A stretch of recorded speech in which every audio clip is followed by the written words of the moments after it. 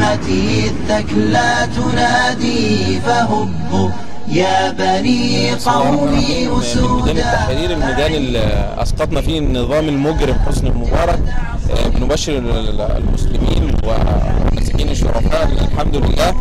آه، تحقيقات آه، النيابة في شأن قضية كميله شحاته الحمد لله ماشية على قدم وساق. والحمد لله قدرنا ناخد يعني نسخة من التحقيقات. وهي في أيدينا هي اللي سلمها لنا الأستاذ سارة أبو بكر المستشار القانوني لائتلاف دعم المسلمين الجدد والقائم على قضية أختنا كاميليا شحاتة وفاء قسطنطين وغيرها.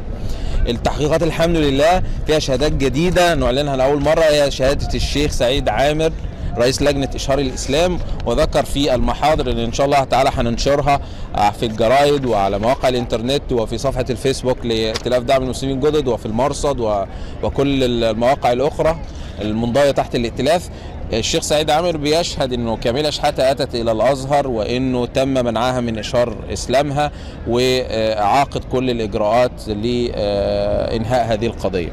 فيا ريت ناخد صورة بس. ادي صورة التحيات نسخة لسه واخدينها دلوقتي. من فين يا أستاذ طارق؟ من نيابة وسط. نيابة و- حوادث وسط القاهرة. آه، الحمد لله تقريبا 45 صفحة.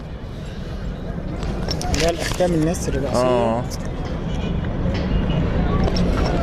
فالحمد لله رب العالمين.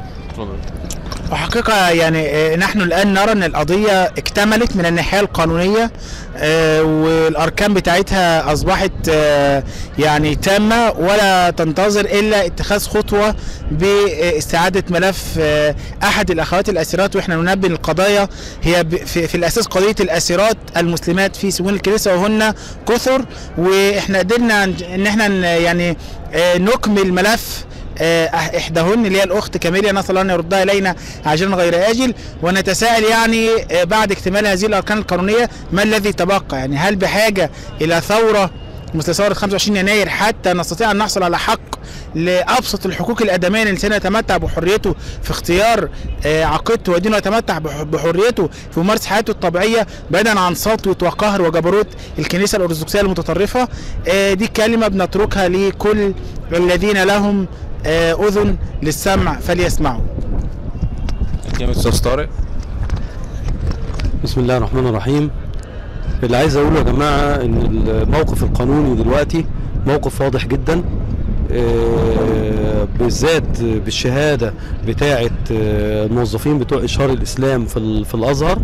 ال- الموضوع ده بيصير مصيبة كبيرة جدا جدا إن كان في اتفاق غير أخلاقي على ح- حجب آه، الإنسان عن ممارسة حقه في اختيار عقيدته. والمسألة ديت لا ليها علاقة بقى لا بسنية ولا ليها علاقة بسلفيين. يحلو قوي قوي للإعلام يقول لك السلفيين السلفيين اللي مش عارف إيه. لا أن المسألة دي يا إخوانا ملهاش علاقة بالكلام ده خالص. المسألة المسألة دي ليها علاقة بإنسانية. وب- وبكرامة الإنسان وبحقوق الإنسان اللي هو مسألة مستقرة في جميع أنحاء العالم.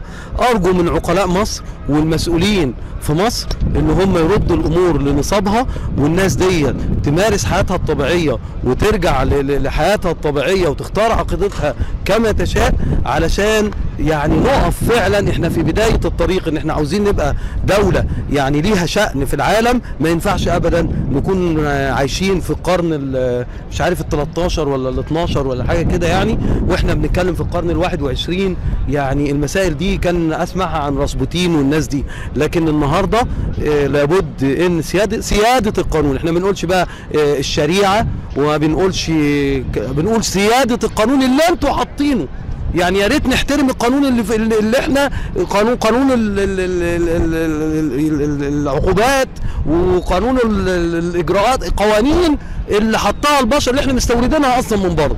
بنرجو احترام هذه القوانين يا اخوانا والله نحن محبين لهذا البلد. والله نحن أحرص على مصلحة هذا البلد من أي أحد. ونتمنى إن البلد تهدى وإن الأمور ترجع لنصابها. وبعد كده يعني إن شاء الله مصر على على أول الطريق لأنها تبقى في مصف الأمم المتقدمة بإذن الله. والمسألة دي وصمة عار لابد أن ننتهي منها. وجزاكم الله خيرا. والسلام عليكم.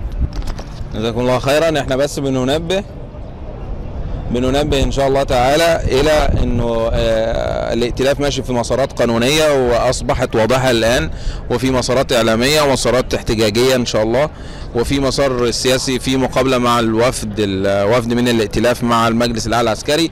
فنرجو من عقلاء هذا الوطن سواء على هذا الجانب أو الجانب الآخر إنهاء هذه القضية التي إن لم تحل.